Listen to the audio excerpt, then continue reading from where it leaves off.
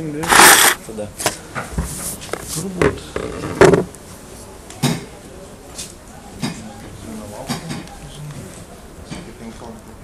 Tai dar tada kokią vieną minutę. Dar vieną.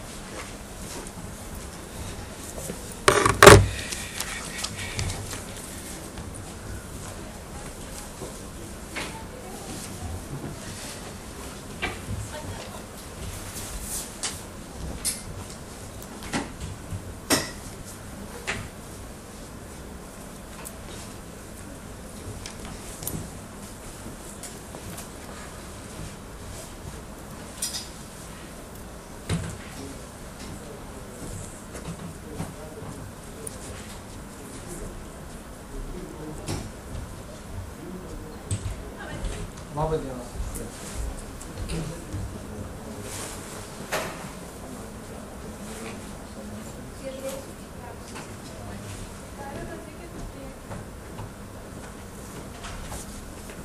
Jeigu reikės. Vienas, vienas, vienas, girdisi? Vienas, vienas, vienas, vienas. Turbūt jau veikia, ne? Nu, kad ne. Atrodo, kad ne.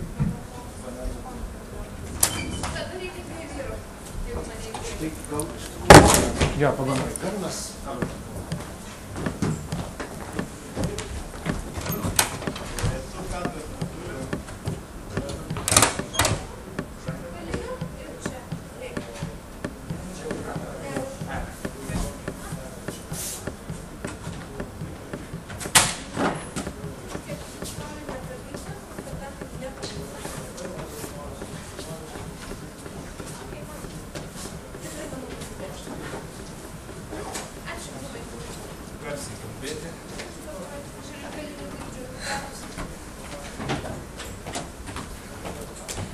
gerai. Esame tikrai... Teisingai. Garbės Kristui, akademinė bendruomenė, sveiki atvykę į Vilnių į jaunimo dienas. Dabar pradėsim paskaitą. Noriu pristatyti Seimo narį konservatorių filosofijos mokslų daktarą Manto Domėną, kuris sakys pranešimą ar paskaitą, nežinau kaip pasakyti, universiteto gyvenimas ir mirtis. Tad nieko nelaukdami ir pradėkim tada. Taip. Sveiki. Na, gerai, kad e, savanoris pranešė, kokia čia paskaita, nes aš paskui dar galiu manyti, kad jūs tiesiog suklydot auditoriją prie kažkaip kitur. Ten yra žymiai populiariau, žinot, gal galite apsigalvoti. Kas dabar nori kalbėti apie universitetą? Nelabai kas. Paprastai tokiuose katalikiškose renginiuose, jeigu reikia kažką kalbėti apie tokias dvasingas institucijas kaip universitetas, tai aš turėčiau susirasti va Newmano knygą Idea of University, susirasti kokią nors labai tinkamą citatą, ir sakyti, nu va, kaip turėtų būti su universitetu, žiūrėkit, va štai čia suformuoluota, o dabar, dabar yra viskas ne taip, viskas blogai ir čia ta vadinama universiteto mirtis. Kažkaip pavadinimas iš tikrųjų užkodavo kalbėti tokią, tokią pesimistinę, esatologinę um, trajektoriją. Vat, ta universiteto mirtis, supras dabar jau, taip sakant, mes jau nuo esame nutolę. Bet man kažkaip nelabai įdomu buvo, bet tai kaip tokia, tokia pozą prisimti, aš paaiškinsiu paskui kodėl. Man buvo nelabai įdomu. Ir, ir va, žmonės teisingai vis ateina, pamato, kas kalba, iš karto išeina. Um, pradėsiu gal nuo kitos pusės. Aš norėčiau iš tikrųjų kalbėti apie krikščionio patirtį universitete. Ir, ir tą patirtį pradėsiu tokiais dviem portretais. Galvoju, gal čia prezentaciją reikia padaryti, aš supratau, kad aš turėsiu jai du kadrus maždaug, tai, tai nebus labai prasminga. Uh, kokį mes įsivaizduojame krikščionės, krikščionio gyvenimą universitete? Ir aš kalbu iš gyvos patirties, tiesa, gal ne visai iš Lietuvos universiteto. Na, vienas, vienas tipažas yra, yra tokia, kaip čia pasakyti, Angela šiek tiek primenanti mergina, kuri šeštadienį vakare a, be abejo kalba rožančių su draugėmis, dalyvauja visose debatuose, kraštikina pozicijas ir, ir sekmadienį yra ankstyvosiuose latiniškose mišiuose. Aš kalbu čia apie Kembridžą, kur, kuriame praleidau 8 metus ir ten tikrai, tikrai jau tokia mergina, nes jos vardas yra Beata, taip sakant, tai, tai žodžiu, Uh, jie aišku yra Lenkija, tai, tai va. Ir jie jokių abejonių nekyla ir praplaukia, taip sakant, per gulbę, kaip gulbė per tą universiteto gyvenimą, nekiek nesutrikusių savo, savo, taip sakant, įsitikinimais ir taip toliau. Ir yra uh, jaunuolis, vadinkime, Dominik, atėjęs iš katalikiškos šeimos. Ir jo tipiškas sekmadienio rytas prasideda taip, kad jisai uh, be 10-10 praplėšia labai sunkiai vokus, pasižiūri į laikrodį ir sako, oh shit, tada pasitaiso mintise, patiria baisų galvos skausmą, supranta, kad suspės jau į rytinės nebesuspėjo, bet dar į 10 val. mišes gali suspėti, jeigu eisi vakarykščiais drabužiais nelygintais ir nesiprausęs. O paskui jam staiga jau, taip sakant, jau besirengiant dingti, kas vakar buvo toliau po to pabo ir suprasti, kad reikės eiti iš pažinties ir, ir labai susiraukęs su tokiais nelygintais marškiniais, su ilgais rankogaliais išlinkytus iš pošvarkų, jisai šiek tiek atslenkia tas 10 valandos mišes, ten sėdi gale ir laukdamas, kol atsilaisvins, kaip sakyti, klausykla. Na tai va, du tokie krikščioniškos patirties portretai. Jie tokie savotiškai du poliai. Ir, ir, ir aš manau, kad turbūt grinųjų tipų labai sunku rasti mes tarp jų kažkaip osciliuojame. Kitas dalykas, tai du santykiai su su universiteto dabartimi. Taip sakant, padėkime tos portretus iš šono, aš prie jų dar sugrįšiu, kodėl jie yra svarbus. Du santykiai su universiteto dabartimi. Na ir, ir ten pavadinime tarsi buvo užprogramuotas vienas toks santykis, kai yra filosofas, kuris e, aprašo, kaip universitetai susikūrė, kaip krikščioniškosios viduramžių Europos tokios intelektualinio klėstėjimo viršūnė. Jeigu jūs visi ateitumėte arčiau, man būtų pabėgti bus sunkiau, perspėju, bet taip sakant, bet, bet man bus lengviau e, šaukti. Iš tikrųjų, aš labai prašyčiau, suprantat, vienas iš politiko įgūdžių yra tas, kad kai kalbi, tu visą laiką galvoji apie toliausiai eilėje esantį žmogų. Jūs atsisėdų galinė eilėje, aš iš karto turiu pradėti labiau rėkti. O būtų tikrai žymiai lengviau, jeigu jūs perėtumėte šiek tiek arčiau. Ačiū. Na va, Taigi yra filosofas, kuris e, kalba apie tai, kaip viduramžiais, viduramžiais atsiprašau, susiformavo universitetai, kaip tenai klestėjo krikščioniškai mokslai, visas žinyje buvo palekta teologijos mokymusi ir paskui kažkas pradėjo eiti blogai. Kur tas blogai atsirado, čia yra įvairūs filosofai duoda įvairius uh, receptus. Vytautas Radžilas sako, čia nominalizmo atsiradimas, taip sakant, viskas nuėjo velniop tada, kai Okamas ir, ir Rodžeris Beikonas pradėjo kalbėti apie tai, kad esmės yra tik nominalios, o nerealios. Kiti sako, kad apšvieta, kiti sako, kad antravatikaninis modernizmas. Na, žodžiu, įvairios yra trajektorijos, bet jie sako, kažkur krikščionijoje viskas pradėjo eiti velnio, na ir dabar universitetai yra tik tai karikatūra, kaip ir kitos krikščioniškos institucijos to, kas kažkada buvo. Doom and gloom, kaip sakyti, viskas yra mirę, mes gyvename tarp griuvėsių ir, ir taip toliau. Ir tokių žmonių nėra tiek mažai, tiesą sakant. Aš, uh, Va. Kitas santykis yra tokio žmogaus, kuris gana labai sistemingas mąstytojas kaip popiežius Pranciškus, kuris kažkaip transliuoja optimizmą, nors labai kritikuoja dabartinį pasaulį, bet kartu, kai jis jį kritikuoja, supranta, kad jis jį kažkaip ir myli. Ir jam globalizacija viena vertus turbūt yra blogai, bet kita vertus gal ir visai, ne visai blogai, nes, nes per globalizaciją mes galim sužinoti apie tai, kas vyksta ten, kur kažkada, kaip jeigu krikščionis kažkur kenčia, tai mes globalių komunikacijos priemonių dėka tą sužinome kitą minutę vos ne per pirmą Twitterio signalą ir nereikia laukti, kol pasiuntinys atneš iš šventąjį sostą laišką apie, apie krikščionių persikėjimus Sirijoje. Ir kita vertus, tos globalios komunikacijos padeda mums ir tą jo žinią paskleisti. Tai, kai žiūri į Pranciškų, supranti, kad na, jo santykis a, turbūt nėra visai, visai toks pats kaip, kaip Vytauto Radžilo. Ta prasme, kad jis yra žymiai optimistiškiau dabarties ir, ir modernybės atžvilgių nusiteikęs. Ir kaip šitoje trajektorijoje dabar įpaišyti universitetą kaip instituciją? Na gerai, gal man pavyks, gal nepavyks atsakyti, aš nežinau, gal pavyksiu daugiau klausimų negu atsakymų, bet bandysiu.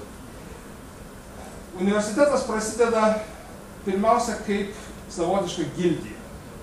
Aišku, jeigu jūs dabar skaitysite šiek tiek filosofų ir žmonių taip pafilosofuojančių universitetų tema, jie sakys, universitetas, visuma, mokslo visuma, Ir jeigu aš būčiau daręs prezentaciją, aš būčiau jums įdėjęs, e, jeigu būčiau radęs, tarp savo nuotraukų, Romoje, mažoje gatvelėje einančio prie Tibro o, tokį dviaukštį namuką, ant kurio parašyta universita dei, o, kaip dabar sauksakaliai, neatsimenu, ar, ar ne, ten sidabrakaliai, argentari. Va. Um, ką tai reiškia? Universita dei argentari. Tai sidabrakalių universitetas kažkoks? Ne, tai yra jų gildija. universitetai yra visuma toje srityje dirbančių žmonių. Ir pirmieji universitetai Bolonijoje ir kiti Italijoje, kurie nebeišliko, jie susikūrė būtent kaip, kaip gildijos tų žmonių, kurie, na, va, rūpinasi tokiais keistais dalykais, kaip perduoda vieni kitiems nebažnytinį mokslą. Nes vėlgi, bažnyčios mokslo perdavimas yra labai institucionalizuotas, ten apibriešta viskupų mokyklos, O tais laikais universitetinio išslavinimo nereikėdavo, norint tapti kunigu, reikėdavo išmokti rašyti ir skaityti daugiau mažiau. O, bet e, kartais ir to nereikėdavo, nu, nereikėdavo, bet ne visi, taip sakant, ne visiems pavykdavo. Bet e, čia jis pradeda burtis gildijos žmonių, kurie į bendrovės labai, nelabai aiškiai suvokdami, ko jie iš tiesų siekia. Jie vieni kitus moko, jie kartu kažką tyrinėja, diskutuoja, aiškinasi, aiškinasi, kaip iš tiesų viskas turėtų būti. Ir iš pradžių bažnytinė valdžia jo žiūri gan įtariai. Um, gan įtariai, tik tai miestų ta tokia didesnė autonominė dvasia, kur miestai, kurie dažnai kovoja su savo vyskupu, pavyzdžiui, leidžia jiems savotiškai išlaviruoti. Ir, ir, ir tos bendruomenės jos yra tokios labai glaudžios. Cambridge yra išlikęs Magdalen College, turbūt konservatyviausiame iš visų Cambridge College, kas nėra, ne, nereiškia daug pasakyti, nes Cambridge šiaip jau netoks konservatyvus kaip Oxfordas. Bet ten yra išlikęs kambarys, kaip atrodė originalus, originalios universiteto patalpos. Didžiulis kambarys, nu, didžiulis, nu, tai prasme, ne toks didelis kaip šita erdvė, mėlyna apačioje, kur su keturiais alkovais. Ir, ir tai yra kambarys, kuriame gyveno magistras, universiteto pirminis dėstytojas ir keturi jo studentai. Alkovose stovėdavo mokinių lovas, per vidurį stovėdavo lovo to magistro, kuris, kaip sakyt, uh, prižiūrėdavo, kad jie gerai elgtųsi ir, ir, ir, ir taip toliau. Uh, ir pirmieji universitetų, taip sakant, tokie fizinės išraiškos, vadinasi, houses arba, arba kolegium, kolegium truputėlį vėlesnis, bet tai yra, tai yra namas, tai yra vieta, kur susirenka va, tie žmonės, kurie vieni kitus moko ir kažką neaišku užsima. Tokį neaišku, žmonėms kildavo įtarimų. Kembridžas, kaip žinot, susikūrė tada, kai iš Oksfordo tos universitetinius žmonės išvijo, tos scholars. Scholars, kurie gyvena, samdydavosi atskirą namą, tenai kažko jau užsiminėdavo. Miestiečiams kilo įtarimas, ar tie čia kažko blogo nelesga, kokio nors neužsiminėja. Ar, ar, ar magija, ar kažkaip neleistinais mokslais, gal skleidžia kokias erezijas, jie juos su pagaliais išvijo ir tie bėgo taip toli, kad sustojo tik Kembridže, kuris yra maždaug 100 km. Uh, ir, ir taip jis, jis atsirado tas antrasis universitetas. Tai ta, ta veikla buvo įtari. Tas įtampa tarp, sakykime, įprastinės visuomenės ir, ir mokslininkų iš pradžių buvo. Paskui, jie, paskui tą veiklą pastebėjo viskupai, suteikė jiems licenzijas tą daryti, pradėjo tada karaliai ir taip toliau, ir tada jau prasidėjo tas universitetų toks įsivalstybinimas. Pirmajam Kembridžo koledžiui žemę padovanojo vietos vyskupas, kuris ir ta žemė buvo už miesto ribų.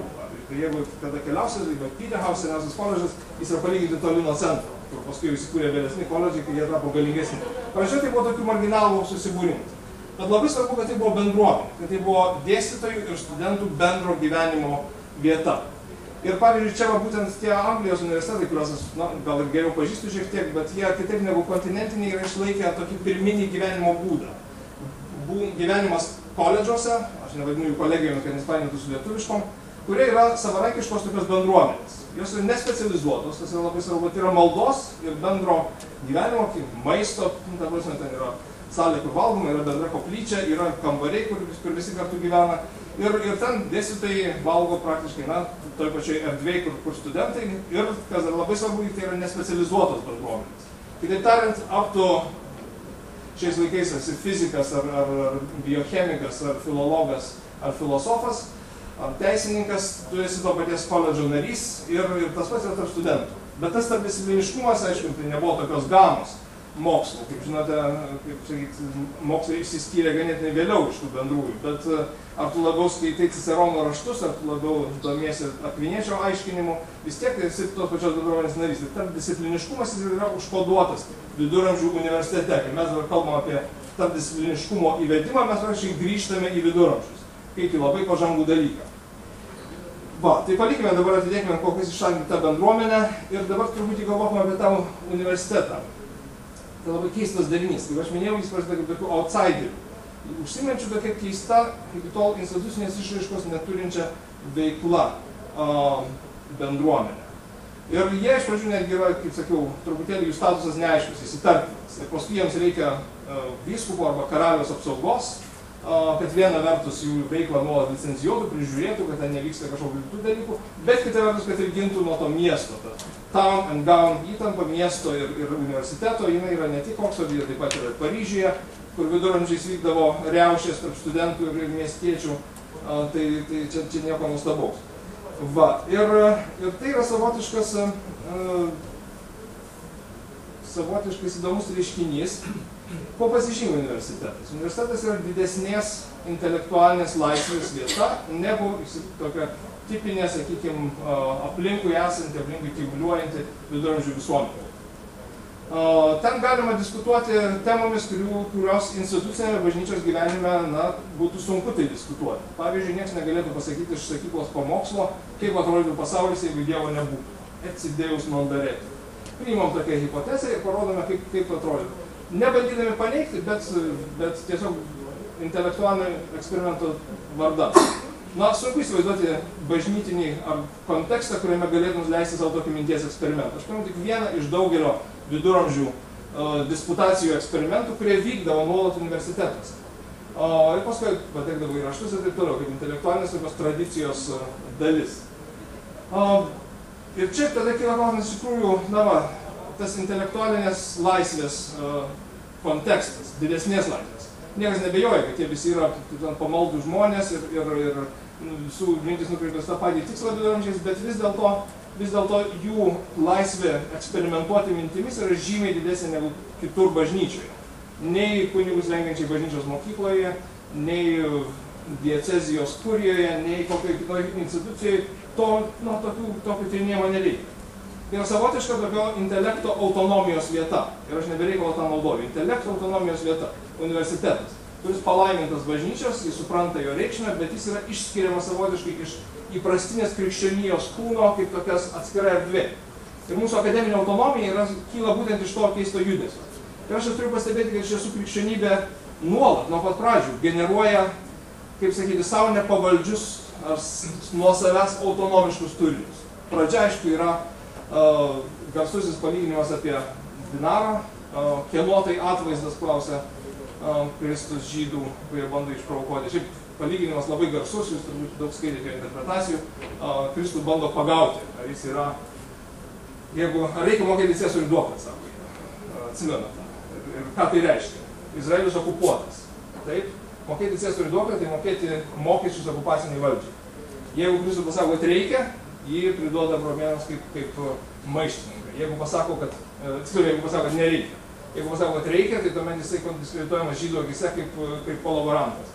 Dilemos, kurios yra absoliučiai lietuviška 20 amžiaus antros pusės patirtis. Ir, ir tada, ką jisai pasako, o kieno atvaizdas ant, ant tos monetos yra? Ciesorius. Tai sako, atiduokit Ciesorius, Ciesorius, Dievo Dievui. Palyginimas, aišku, yra labai, tai nėra vien tik paprasta autonomija, nes e, natūraliai bet kuriam Senojo testamento prisigėrusiam klausytojų žydui kyla mintis, a, gerai, jeigu ant monetos yra Ciesoriaus atvaizdas, tai žmoguje yra Dievo atvaizdas.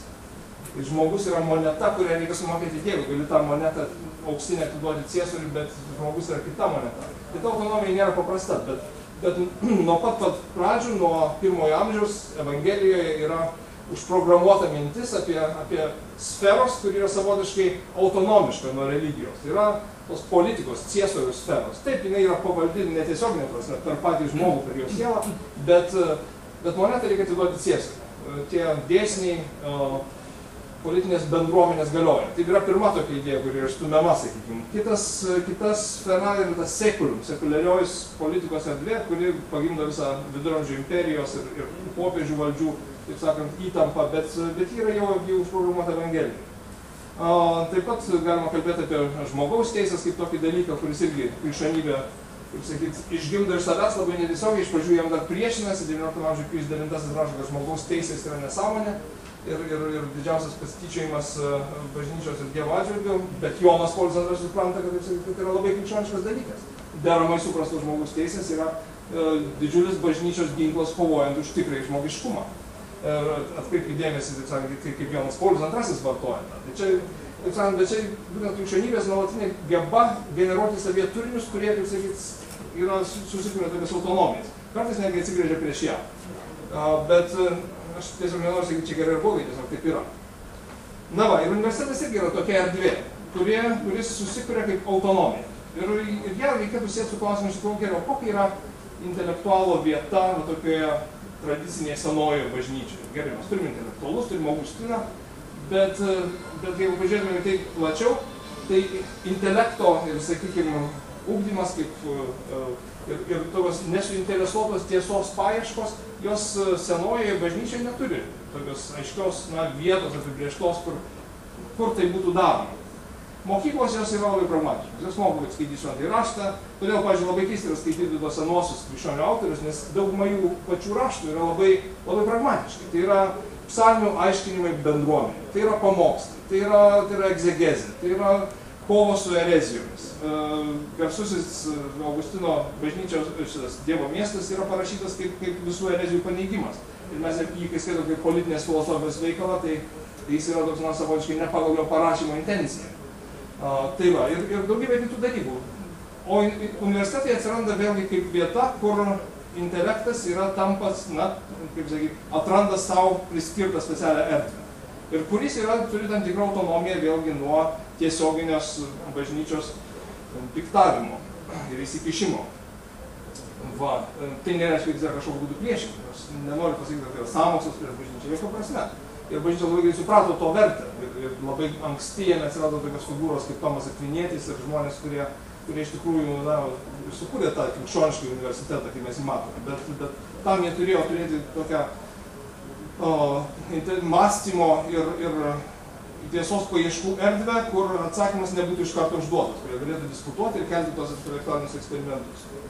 Tai va, taigi tai universitetas yra šiuo atveju kaip tiesos paieškų ir laisvės vieta. Turbūt plojimai reiškia, kad reikia baigti, ne? Ne, dar ne. Dar... Ai, gerai, dar, dar yra kelios minutės. Uh, tai va. Uh, ir tiesos paieškų ir laisvės vieta ir, ir, ir ta prasme jis yra, jam už tai yra suteikima autonomija kaip privilegija. Ta akademinė autonomija, kuri beje reiškia savotiškai politinė autonomija šiaip tradiciškai į Europos universitetus policija ir kariuomenė užsukti neturėdavo teisę, vykstant to mūšiai, bet, bet, bet pavyzdžiui, na, nežinau, kokį pavyzdį paimti, bet, bet ar tradicinėse Italijos universitetuose, pavyzdžiui, kaip sakant, jeigu kildavo studentų liaušės dar 20 amžiaus viduryje, tai turėdavo policija pasiprašyti leidimo, kad galėtų įeiti. Ir čia yra tokios išraiška labai seno papročio. Mes kaip tarp tokių fragmentų, tose keistuose papročiuose matome logiką, kurios dažnai nebeatpažįstame rašytiniu pavydalu, bet ji yra. Ir ta, tai ta autonomija dar svarbesnė yra kaip intelektualinė autonomija. Kaip galimybė nesuinteresuotai ieškoti tiesos. Ir, ir laisvė, kuri reikalinga tam, kad galėtume ieškoti tiesos. Na va, ir uh, bendruomenė, kurią būrė va, tos tiesos paieškos ir sukurta vėlgi tokia uh, laisvės erdvė, jie gyvena tai laisvės erdvėje, kur, kur gali ieškoti tiesos. Tai čia yra toksai gražioji ta vizija universitete. Bet aišku, dabar mes susidurėm su tokiais keliais kontrastais, jeigu žiūrime į dabarties universitetus. Uh, pirmiausia, viena vertus yra iš tiesų jaunimo dienų šūkis, tiesa padarys jūs laisvus, kaip, kaip tas įkvėpimas, kam reikalingas universitetui laisvė, tam, kad galėtų ieškoti tiesos, kuri kaip universalūs steigėjai ir, ir kuriejai manė, taip sakant, jos atves prie Dievo pažinimo. Ir, ir kitoje vietoje turim kitam trajektorijos gale, turime na, dabartinį universitetą, kur safe spaces atsiranda. Safe spaces, žinot, kas yra safe space. Uh, safe space tai yra, taip sakant, erdvė būti saugiam, kad tavo uh, įsitikinimų niekas neįžeistų, nekvestionuotų, nešokiruotų ir taip toliau. Taip tariant, uh, JAV ne viename universitete tu gali pareikalauti, kad uh, maždaug saugokit mano safe space, ir laikykitės mano safe space, tai dar nesakykite dalykų, kurie gali kažkokiu būdu paveikti mano uh, ir, ir nemaloniai nuteikti, nes aš, nes aš manau priešingai. Na, pavyzdžiui, kaip pasakyti, štai uh, kolega man pristatė konservatorių, tai iš tiesų toksai esu ir čia jau galėtų dabar sakyti, ne, nedrįs kalbėtis dėl konservatyvių niekų, nes, žodžiu, aš esu kitų pažiūrų ir mano safe space turi būti apsaugota. Kur tai veda, taip sakant, čia aš toks absurdiškas taškas, jau to, tolimasis, jis yra, galima stebėti jo genezę, čia yra politinio korektiškumo, vėlgi toksai kultas, kuris prasideda iš tikrųjų, na, politinis korektiškumas, nu, kaip prasideda jis kaip toks ganėtinai teisingas dalykas, na, nevadinti žmonių įžeidžiais vardais, nevadinti na, sunku mums suprasti, kodėl Niger yra, yra įžeidžiamas dalykas, bet turbūt turi tam gyventi pietinėse valstijose, kur tame garse girdėti plantacijos šeimininkų šūksniai, kur, žodžiu, sako, Niger ir taip pat tavo nugarą pasiekia rimbo kirtis. Tai čia ta asociacija mums niekada nebus suprantama, bet, bet politinis korektiškumas prasideda, taip sakant, nuo, nuo apsaugoti žmonės nuo įžeidimų, bet galiausiai, taip sakant, tai tas ribas lengasi taip, kad bet koks opozicijos formulavimas pradeda suvokti kaip įžeidimas. Ir politinis korektiškumas pradeda drausti, drausti daugybę dalykų ir tą absurdą mes, kaip sakyti, jau, jau juokėmės 30 metų, bet tai tampa, taip sakant, įsišaknyje ir galiausiai safe space paskutinis, paskutinis žingsnis, kur tu turi teisę, žmogaus teisę, šventą teisę, kad tavo įsitikinimų niekas neįžeis. Kaip tai sutampa su tiesos paieškomis? Na, be abejo, sutampa tik tai taip, kad postmoderniam pasaulyje, kur yra įsigaliojusi ta relativistinė nuostata, kad kiekviena tiesa ar požiūris į pasaulį, pasaulį yra lygiai vertinga, kad niekas negalima pasakyti, kaip mąstyti ir ką mąstyti. Vieningas pasaulyje vaizdys yra suiręs ir, ir, ir, ir, ir va, taip atsiranda tada tai, ką arkivyskupas kalbėjo, kad tiesa kildinama iš laisvės tokios faktų, bet laisvės suvokiamas va, tokia pačia primityviausia prasme. Laisvė daryti, ką nori tada aš susikursiu savo tiesą. Ir, ir į tą mano tiesos pasaulėvaizdį niekas ten nedrįsta kištis, aš noriu, kad būtų, tai būtų saugi erdvė. Bet aišku, ta tiesos samprata nieko bendro neturi su, su krikščioniškai tiesos samprata. Ir čia bažnyčios vėlgi požiūris yra nu, ne, nesuderinamas su tuo. Mes galime, taip sakant, bažnyčios dalyti suderinti su daug šio laikinio pasaulio bruožų, bet su tuo labai sunku suderinti. Bažnyčia pripažįsta, kad galutinės tiesos apie pasaulį ieškojimas yra žmogaus pašaukimas, nors ir niekada nesibaigiantis procesas dėl žmogaus ribotumo, dėl a, pažinimo ribotumo, dėl gyvenimo trumpumo galų gale, bet a, tai yra, turi būti išsilavinimo ir švietimo stuburas, o tos imperatyvas ieškoti tos tiesos. Aiškiai suprantant, kad vėlgi, ir čia labai svarbu yra atskirti, kad tiesos ieškojimas netaptų, kaip sakyt, tiesos radimu, kaip pagalio, su kuriuo tu gali visus kitus mušti. Ir, ir tai dažnai būtent tarp, tarp krikščionių, tarp katalikų labai dažnai pasitaiko, taip sakant Nes, e, kaip pasakyti, žinoti teisingą teiginį, kuris atitinka katekizmą, yra ne tas pats, kas surasti tiesą.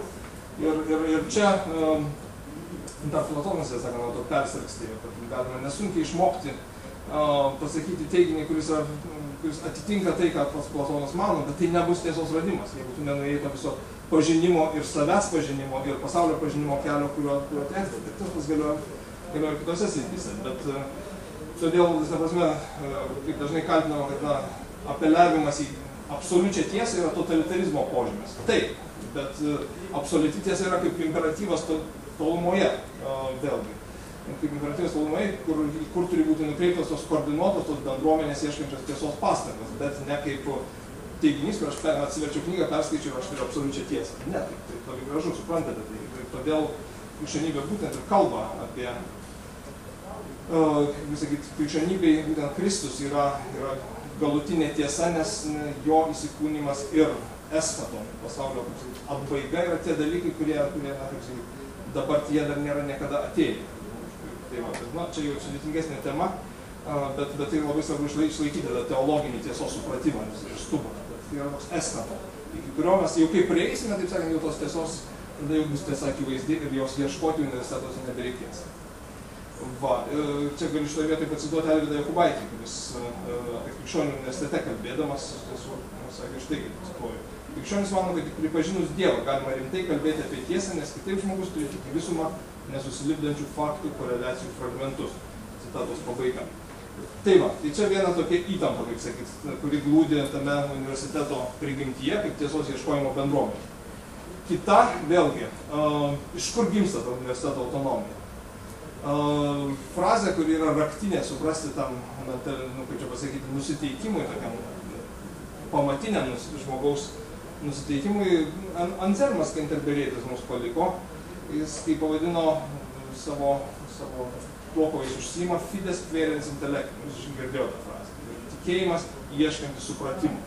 Tikėjimas ieškantis supratimo. Tikėjimas ieškantis, ką tai reiškia? Ar tarsi tikėjimo vieno nebėra? Um, kodėl reikia ieškoti supratimo? Kodėl reikia filosofijos, kad ji bandytų, taip sakant, apmastyti teologinius teiginius ir pagrysti juos filosofinėmis kategorijomis? Na, e, šitą klausimą uždavinėjo kelis šimtus metų geriausi žmonijos protai, tai aš nebandysiu per penkias minutės atsakyti. Bet, e, bet tai va, yra dar vienas toks to mechanizmo pavyzdys. Kaip sakyt, tikėjimui negana jo vieno paties. Jis nori save suprasti, jis nori save paaiškinti galų gale ir, ir, ir interpretuoti tiems, kurie galbūt neturi tikėjimo. Ir tai yra kaip žingsnis, kaip sakyt, atlikti tą tikėjimo šuolį. Jeigu tu gali kitiems paaiškinti, kodėl tu tiki, kodėl uh, Kristaus iš- išganimo kaip žmonijos viltimi, tai galbūt yra kelias į Kristaus pažinimą. Nes tikėjimo atsiradimas yra toks stebuklas savotiškai. O intelektas yra racionalumas, taip? Tas supratimas. Tai va, tai vienas, vi- vienai tokia, vienas polius, nuo ko prasideda universitetas. Tai kai tikėjimas pradeda ieškoti pažinimo ir tai suteikia pateisinimą, kodėl intelektas turi savaiminę vertę ir, ir, ir reikia sukurti instituciją, kuris galėtų būti lavinamas, kuris galėtų būti nesuinteresuotai, kaip sakyt, plėtojamas, kur būtų atliekamos a, tyrimai ir, ir, ir intelektualiniai eksperimentai, kurie neturi jokios betarpiškos naudos aplinkiniai žmonijai. Nu, kokia nauda iš to, kad žmogus išskyrė, kiek dabar yra a, apie kokios angelų pasaulyje, dar bus smaigalio. Jokios, bet tai spekuliatyvioje metafizikoje kažką čia reiškia. Va, ir, bet mes, tai vienas trajektorijos, sakyt, galas, kitas galas yra čia, kur mes esame dabar, kai intelektas yra tapęs visiškai instrumentaliu. Ir, ir tą reikia labai aiškiai suprasti. Iš tikrųjų, aš dar sakyti, kad cituosiu Alvydą Jakubaitį, nes jis, nepaisant tokio pesimizmo, kai kurios dalykus įvardė labai tiksliai. Cituoju, gamtos mokslo atstovai šiandien rūpinasi gamtos užkariavimu, technologijomis ir gale, o ne tiesa. Gale, o ne tiesa. Krikščionybė pasitraukus iš universiteto tiesos idėja pakeis naujų išradimų, naujų teorijų ir naujos mokslinės produkcijos savokus. Mokslininkai tik iš netikusio įpročio šiandien toliau vartoja ne jų, bet tikinčiųjų sukurtą tiesos savoką. Nesunku pastebėti, kad dabartinius mokslininkus domina ne tiesa, bet naujas įėjimas kokio nors specializuoto mokslo kalbinėme žaidime. Naujumas jiems yra svarbesnis už tiesą, o naujos technologijos svarbesnės už gyvenimą. Mokslininkai seniai nepažįsta tiesos, bet tik kuria vis naujas hipotezes. Čia, man atrodo, labai tiksliai yra aprašytas tas įvykęs poslinkis. Jeigu pažiūrėsime į pirminį tavo universiteto pašaukimą ir dabartinį, tikrai, nu, kaip sakyti, į geriausius universitetus, kas legitimuoja jų veiklą? Tai nėra didesnis tiesos laipsnis, nėra teisingesnės hipotezės, tai yra naudingesni produktai, tai naudingesni išradimai, didesnė sankaba tarp mokslo ir verslo, didesnė, taip sakant, uždirbami pinigai ir, ir kitaip tariant, universiteto būties pateisinimas per tą laiką, per tos kelius šimtus metų, jis apsigrėžė beveik tūkstantį metų, šiame šimtmetį, jūs gal sulauksite Bolonijos tūkstantmečio. Tai va, per tą tūkstantį metų apsigrėžė į visiškai kitą pusę. Nebe fides querens intellectum, kur intelektas yra savotiškai toksai tikslas - suprasti, bet intelektus instrumentalis. Intelektas kaip instrumentas siekti kažkokiems kitiems. Galios, ekonominiams e, ir, ir, ir, ir kitiems e, panašiems tikslams. Tai va, tai tą trajektoriją reikia turėti omeny, kai kalbame apie krikščionę, taip sakant, jis turi suprasti, kas, kas yra įvykę su tuo universitetu. Na va, dar vienas toks kontrastas, kurį aš norėčiau uh, paminėti. Ir pažiūrėsiu prieš tai dar kiek laiko. Dar turite. Dar turiu, gerai, nes aš esu linkęs, taip sakant, užsimiršti. Tai, tai yra, mano bičiulis toks Philip Blond yra suformulavęs, kad klasikinėje visuomenėje uh, išsilavinimas ir universitetinis išsilavinimas dalyvaujame tokiame, jis sako, doryb, dorybingame rate, kuris yra priešybė ydingam ratui. Dorybingas ratas ta prasme, kad uh, nėra taip, kad uh, ugdymas, lavinimas yra kažkokia baigtinė, uh, baigtinė pakopa. Religinė savimonė visą žmogaus gyvenimą suvokia kaip nesibaigiantį tobulėjimą arba atvirkščiai ir nuopolio, taip sakant, bet tokį e, trajektoriją. Prasme, kad e, krikščioniškas pasaulėvaizdis, na, krikščioniškas sąmonė mus kalba apie žmogaus gyvenimą kaip nesibaigiantį ėjimą link Dievo link, ir, geresnį mėginimą geriau jį pažinti. Ir e, klasikinės taip sakant, edukacinės institucijos tame turi vaidmenį, kad jos, e, jos e, jų vaidmuo yra parengti žmogų dalyvauti tame tai, visą gyvenimą trunkančiame saviugdos procese, savęs formavimo, savęs, kaip sakyti, parengimo tam galutiniam susitikimui su Dievu. E, Ir tame, kaip sakyti, suintegruojama yra e, ir, ir ne tik, e, būtent ne tik intelektinė žmogaus būties pusė, bet taip pat ir jo dorovinė ir, ir ir, ir na, deramų dorybių, dorybių formavimas jame, kuris yra būtina intelektinių paieškų pusė. Ta prasme, kad kai suvokiame tai, kad e, būtent to religinio proceso veiksme. Taip, kiekvienas krikščionis, taip, ta, taip pat tas, kuris yra, na, dėl objektyvų priežasčių nepajėgus įstoti universitetą, kuris garbina Dievą apdamas žemę, jis irgi dalyvauja tokiame pačiame procese. Ir, ir šventas Izidorius mums primena, kad ir artojai gali būti šventaisiais. Jokių būdų, taip sakant, intelektualizmas krikščionybės to neapkaltins. Bet universitetai yra, taip sakant, to krikščioniško formavimo etapas tiems žmonėms, kuriems intelektas yra na, lab, svarbi jų savimonės ir tapatybės dalis. Ir, ir todėl, todėl kaip universitetas yra suvokiamas tuomet ne tik tai kaip e, išugdyti įgūdžius, kurių dar reikės gyvenime, bet išugdyti tą savižinos ir, ir dievožinos gebėjimus ir atitinkamas darybės, kurių reikės eiti tuo gyvenimo keliu.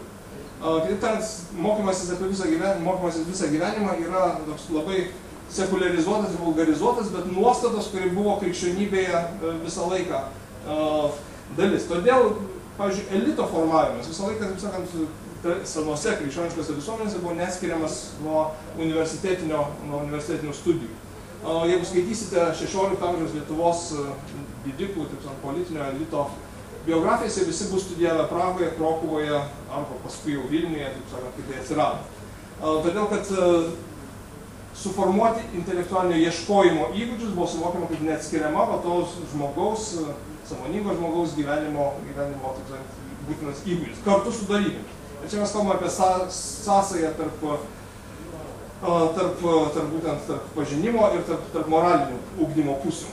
Tai nebuvo niekada vien tik, tai, vien tik žinių perteikimo. Ir, ir tam yra sukurtos visos institucinės struktūros senosios universitetuose, kurios užsima dorinių ugdymų to išraiška, be kita ko buvo, kad, pavyzdžiui, 19 amžiuje į Oksfordą negalėdavo atvažiuoti nesustokusios mokytis. Nes, nes studentai turi gyventi dorybingai ir, ir, ir todėl anglų aristokratai, taip sakant, moteris laikydavo valtis ir paslėpė nuo, nuo, kitų. Jokį viešbutį nebūtų prieigą tuo metu. Tai čia tokios šiaip. Arba lygiai taip pat pirmas, atsiprašau, tai skamba truputį arhaiškai, bet suprantate, tas, tas lyčių atskirimas, seniai universitetai, aišku, be abejo, buvo seksistiniai, tik vyrams skirti iki 19 amžiaus vidurio, bet kai susikūrė pirmas moteriams skirtas koledžas ir jau gavo teisę įsikurti, tai buvo pasakyta, kad jis turi būti ne arčiau kaip penkios mylios nuo didžiosios šventosios Marijos varpinės bokšto. Kodėl penkios mylios? Todėl, kad Kembridžo studentams e, trimestro metu neleidžiama nuklysti toliau iš Kembridžo kaip penkios mylios nuo didžiosios šventosios Marijos bokšto. Tai jeigu ten bus studentės kažkokios, tai jos neturit galėti fiziškai eiti į kontaktą su studentais, nes, nes mes rūpinamės jų dorovę. Ok, čia karikatūros, bet, bet jos karikatūros irgi išduoda intencijas, kurios buvo ir glūdėjo, kažkada jos buvo organiškos dalis. Mes, taip sakant, pažįstame, kai jos tampa tokiais fragmentais, bet tai va, e, moralinis formavimas yra, yra taip, labai svarbi dalis tos pirminės misijos. Dar, ką mes dabar matome, tai utilitariavimas universiteto. Jisai turi paruošti darbo rinkai, kažkokią ekonominę vaidmenį. Tai valstybė turi pasakyti, kokių specialistų kiek jai reikia ir tai paruošti. Kiek filosofų reikia Lietuvai. Na, kiek teologų dar beje bažnyčia gali pasakyti, kiek teologų jai reikia. Bet e, čia jūs filosofai gal, taip. Kiek filosofų reikia Lietuvai. E, koks, kokia ministerija gali pasakyti, kiek filosofų reikia Lietuvai. Čia suprantate, čia mes tokiame klausime matome tokį sandūrą, klešą, susidūrimą tarp pirminės universiteto vizijos, kaip, kaip geros krikščioniškos visuomenės kūrimo, kur ir, ir, ir dabartinio visiškai utilitaristinio jo supratimo. Tai va, gerai, judant toliau, kalbant apie krikščionio buvimo universitete. Vienas dalykas, kurį labai su, svarbu suprasti kurio dabartinio universiteto politikos formuotojai, kaip aš jau truputį užsiminiau, nesupranta, kaip pacituojant tokį Ross Daudet, labai bei įdomų Amerikos intelektualą kataliką, patariu paskaityti, Ross Daudet, tai yra D-O-U, that. Uh, kaip jisai vėl savo paskaitą pavadino Theology has consequences. Uh, ta prasme, tai yra nuoroda į tokį labai įtakingą veikalą Ideas have consequences, tai čia Theology has consequences. Uh, mes šio laikinio pasaulio nesuprasime, jeigu savotiškai nesuprasime teologinės tauto potekstės, nes uh, institucinės krikščionybės traukimasis nereiškia religijos pasitraukimą iš, iš pasaulio. Atvirkščiai, jis argumentuoja, kad m, jūsų karta gyvens kur kas labiau religingame pasaulyje, negu gyveno mano seneliai. Nors e, stereotipas e, Delfio ir kitų suformuotas, kad turbūt tai netiesa, bet, bet e, sociologija sako, galbūt institucinės katalikybės bus mažiau Europoje. Bet galbūt jos bus daugiau Afrikoje, Pietryčių Azijoje, taip pačiai Kinijoje, kur galbūt netrukus bus daugiau krikščionių negu Šiaurės Amerikoje. O, ne tik todėl, kad Šiaurės Amerikoje mažėja, bet todėl, kad ten be proto greitai daugėja Kinijoje. O, jau nekalbant apie islamo, pentekostalinių, įvairių evangelinių krikščionybės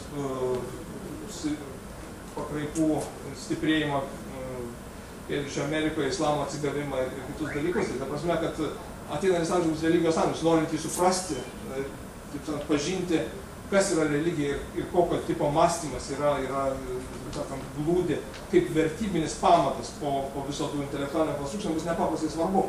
Ir čia yra tai, ką krikščionis gali duoti. Taip sakant, kai mes dabar kalbame apie islamą, e, yra neįmanoma, kaip sakyti, a, to argumentuoti grinai politinėme, politinėme arba socialinėme lygmenyje. Visą tai, tai tampa būtent e, mes pamatome teologinės tada prielaidas.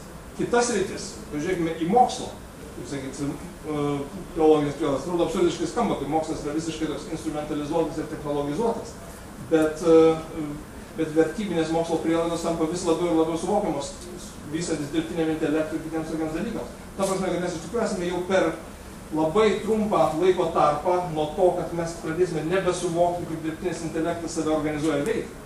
A, Jau, tarsi, literally, šiom savaitėm buvo pranešimai apie tai, kaip a, Google'as a, sukūrė a, naujus algoritmus, ir kurie, kurie visiškai kitaip interpretuoja tikrovę žymiai efektyviau, bet mes nežinome, kaip jie save organizuoja, kaip jie veikia.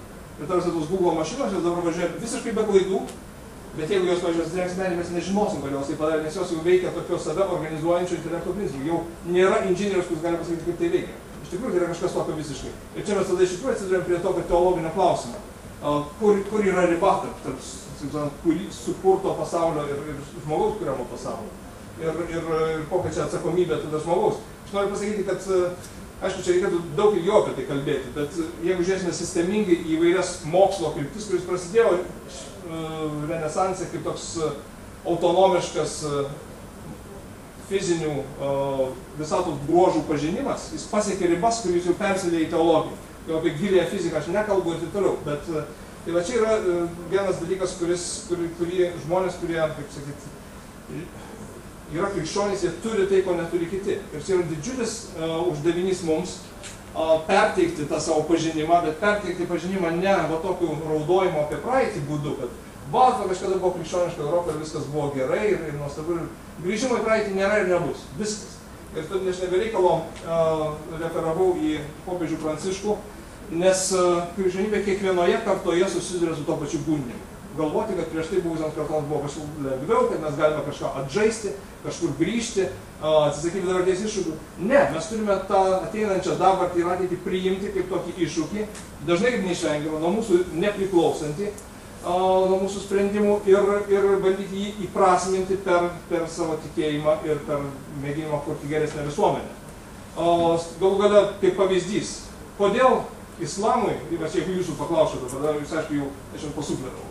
Bet jeigu būsiu jūsų paklausęs apie globalizaciją, turbūt dauguma iniciatyvos nu, čia blogas dalykas. Nors aš jau pačioje pradžioje pasakiau, kad tai blogas. Bet kodėl islamas, pavyzdžiui, nuo globalizacijos tarpsta? Ta prasme, tai jiems suteikia naujus veikimo būdus. Naujus būdus surasti tikinčiųjų ir gerai, ten apginkluoti sprogdinimuose technologijomis. Bet, bet tai, taip sakant, technologija dėl to nekalta, kas per ją įvyksta. Globalizacija islamui, taip sakant, globalis informacijos klaida buvo didžiulė galimybė visom prasme, per imigracijos procesus, per finansinius rautus, per informacijos sklaidą. Kodėl krikščionybė tas dažniausiai suvokia, mes tas dažniausiai suvokiame kaip grėsmę, o ne kaip galimybę. Ir todėl tam mes turime nesikabinti į praeities kultūrinius pavydalus, o bandyti, taip sakant, juos esamus pavydalus iš vidaus juose atrasti tos sąlyčio taškus su, su žmonėmis, kurie, uh, kuriems nedingo jų pagrindiniai žmogiški, žmogiški kaip sakyt, konstantos. Būtent, kai esate universitete, tas viena vertus svaidinančios intelektualinės laisvės pojūtis, kuris kartu parodo žmogiškumo ribas dažnai. Žmogus pirmą kartą tampa kūrėjų ir, ir išeina į visiškai naujus intelektualinius turinius, atranda tikrovės, su kuriomis, na, galbūt net jo šeimoje nebuvo susidurta ir, ir jau nekalbant apie mokyklą, čia ta patirtis. Uh, taip, aš žinau, kad laikas baigėsi. Jeigu Aš galite. čia norėjau, kaip sakant, dar, dar gražių dalykų pasakyti, va, bet e, mums reikia ieškoti sąlyčio su tomis žmogiš, bendrosiomis žmogiškumo patirtimis, su tam, ir tą laisvę panaudoti kūrimui. A, Dažnai, jeigu mums nepavyksta kaip pasiekti, kaip katalikams, norimo rezultato visuomenė, e, dažnai ne pasaulis yra kalbas, tiesiog mes prastai, prastai dirbame, nepakankamai kūrybingai. Turime būti prieš akiją, kaip kad buvo prieš va tie intelektualai, kurie sukūrė universitetus, kurie kūrė visai naujus žanrus, atrado visai naujas institucijas ir, ir kaip sakyt, veikimo ir mąstymo būdus. Ir tuomet gal mažiau reikia skūstis ir kalbėti apie dūmę, blūmę ir universitetus. Sorry, čia taip užtrumpinti truputėlį. Ačiū. Gerai, tai dėkui pranešėjai, dėkui jums, 15 minučių pertrauką, galite pasirinkti kokią nors kitą paskaitą. Kitas auditorijas. Lygiai 45 minutės. Aš tai prašau čia jums atsigaivinti truputį. O, ačiū. Taip, šitą turbūt reikia. Nu.